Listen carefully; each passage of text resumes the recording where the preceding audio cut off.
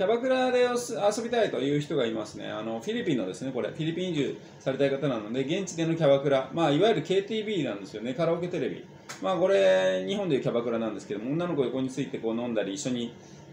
えっ、ー、と、なんでしょうね、カラオケしたりとかですね、まあ、そういう遊び方なんですけども、えっ、ー、と、おすすめのお店を聞かれる方はですね、アンヘレスで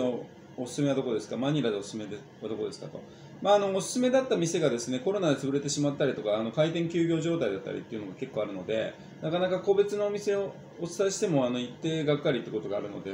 あえて、まあ、LINE で個別にあの最新情報を聞いてもらえばいいんですけどもただですね、えーと、やっぱりあの気をつけた方がいいと思うのはあの KTB もですねいろんな人がいるんですよね、やっぱり日本人に慣れてる人ほどですねあのお金にあのなんて言うんでしょうね細かいというかですねまあ助けてほしいとかいろいろ来るんですよ、弱みにつけ込んで。で日本人男性優しいので、まあ、そこつけ込まれないように気をつけていただきたいと思います。